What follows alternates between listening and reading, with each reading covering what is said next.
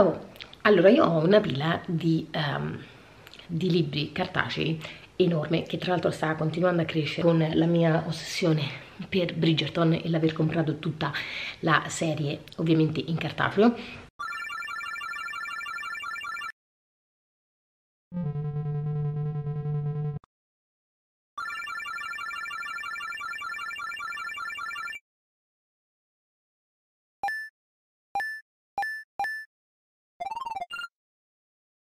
Ultimamente io in realtà leggo molto di più sul Kindle perché leggo la sera. Il cartaceo dovrei avere la luce accesa e mi rimane più scomodo. Ovviamente però non posso non leggere più il cartaceo anche perché a me piace tantissimo leggere in cartaceo.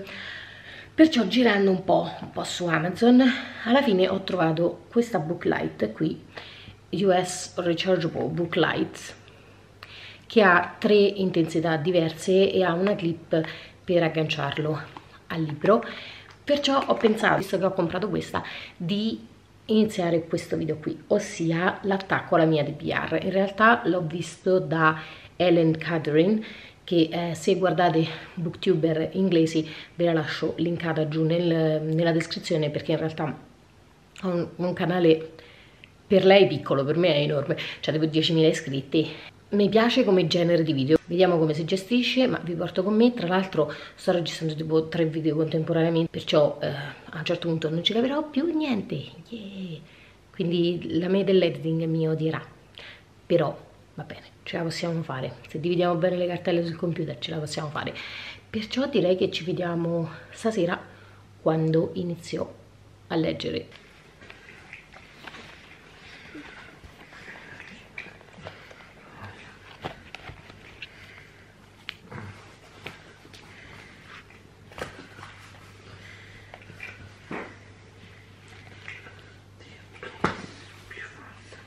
Ieri sera ho iniziato Christmas in Quincy, che ho finito perché parliamo di una novella di tipo 130 pagine, 134 pagine, quindi una cosa molto molto veloce.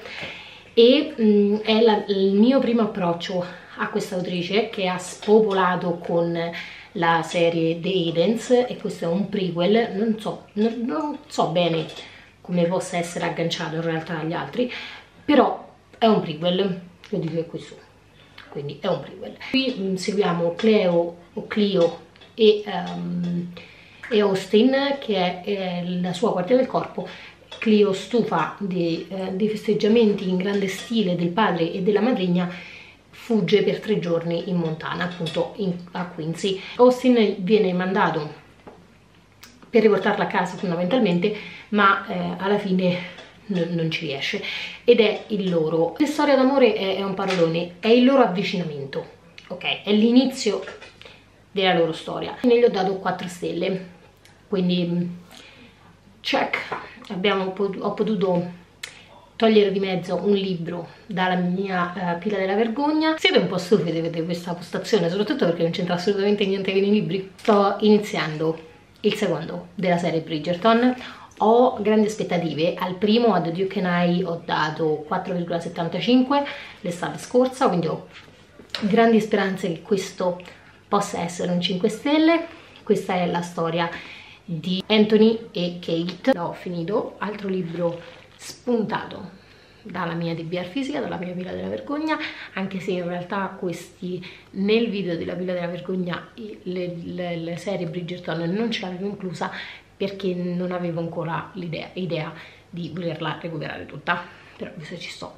Ve la faccio vedere. Gli ho dato 4 stelle. Subito dopo dalla Villa della Vergogna stamattina ho iniziato Non ti muovere di Margaret Mazzantini. E mm, in questa edizione del 2008 probabilmente è apparso un giorno a casa di mia madre come avevo già spiegato nel video della Villa della Vergogna e ho la sensazione di averlo già letto e di averlo rimosso per qualche motivo o almeno di averlo iniziato perché i primi capitoli mi sembrano capitoli che ho già letto però non ricordo come va a finire la storia quindi è probabile che io abbia iniziato i primi paio di capitoli non mi sia piaciuto e eh, l'abbia DNFato e poi appunto è rimasto a casa di mia madre. Probabile, è possibile. Altro libro dalla pila della vergogna. Al momento sono a 70 pagine su 300 conto di finirlo in un paio di giorni e di passare al successivo. Ma vedremo. In realtà mi vedete truccata perché sto registrando un book tag. Ho finito di leggere Non ti muovere di Margherita Mazzantini. Ho la sensazione di aver che forse lo avevo iniziato e poi abbandonato qualcosa del genere. Mm, stavolta sono riuscita effettivamente a finirlo perché la scrittura della Mazzantini mi piace ma questa storia assolutamente no. Cioè lui oh, un coglione paventato cioè abbiate pietà ma che persona sei, cioè che persona sei? E qui non si tratta di, di personaggio moral grey o roba del genere, qui si tratta di tutto proprio un testa di... lui racconta alla figlia in, sotto operazione, in coma, le donne della sua vita. O meglio, nello specifico di sua madre e di una donna di nome Italia. Ripeto, la scrittura della Mazzantini mi è piaciuto la storia decisamente no, però è un altro libro che ho spuntato dalla TPR e subito dopo ho recuperato Indigo Ridge di Daphne Perry. È il primo della, della serie The Edens e viene subito dopo Christmas in Quincy. E sono a tipo il 18%, sono a pagina 62 e per il momento mi sta piacendo. Finito Indigo Ridge, mm, mi è molto molto piaciuto, continuerò sicuramente la serie, quindi devo recuperare assolutamente i cartacei appunto di tutta la serie e ho iniziato M for Mommy di Eleanor O'Reilly che avevo comprato a Dublino. In realtà sto andando abbastanza lenta su questo, la scrittura non è, non è proprio inglese inglese, nel senso che ci sono alcune parole e alcune alcuna grammatica delle frasi che non sono propriamente inglesi, non so se facciano parte magari della, um, del parlato irlandese oppure se eh, sia proprio una scelta dell'autrice perché tra l'altro questa è un'opera di debutto di un'autrice appunto irlandese.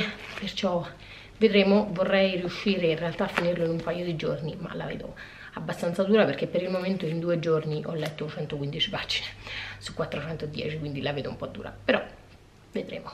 Ho finito di leggere M for Mommy e questo libro io penso che sia stato, cioè per me questo libro è stato un incubo da recensire perché per il primo 50-60% ho sofferto perché lo volevo abbandonare, perché era lento, perché mh, mm, per quanto mi piacesse mi piacesse il punto di vista di Jacob che è un bambino autistico quindi vediamo tutto il procedimento nel suo cervello che ho trovato assolutamente fenomenale era semplicemente vedere la loro vita giorno per giorno. Ci sono quattro punti di vista, c'è Jennifer, c'è uh, Jacob, c'è Annette che è la mamma di Jacob e uh, Jenny e, mm, e c'è Mayanne che è la nonna di Jenny. Ma in realtà diciamo che il libro è trascinato dalla voce di Jenny in realtà mi sarebbe piaciuto vederlo esclusivamente dalla voce di Jenny perché fondamentalmente diciamo che i capitoli clou, i capitoli che effettivamente sono più interessanti sono quelli trascinati appunto da Jenny, questa bambina delle scuole eh, medie, se non sbaglio mi sembra fa tipo la prima media, e, non, non, se non sbaglio non ci dice una vera proprietà, però ce lo fa intendere, e ehm, super affezionata al fratello, super legata al fratello nonostante appunto Jacob sia uh, un bambino speciale, come gli dice la nonna, diciamo che è un po' come in realtà lei affronta appunto questo autismo del fratello con tutte le sue ripercussioni, nel senso con tutte le ripercussioni che ha a scuola, il fatto che abbia un fratello insomma un po' particolare e mm, tutto nasce dal fatto che la mamma di Jenny, appunto Annette, a un certo punto si sente male, ha un'ischemia, viene ricoverata e ovviamente sta via per tanto tempo, quindi la nonna di questi bambini si trasferisce a casa loro. Mi sarebbe piaciuto vedere il padre insomma affrontare tutta questa situazione della moglie in questa situazione e l'invasione tra virgolette della suocera a casa appunto per prendersi cura dei bambini.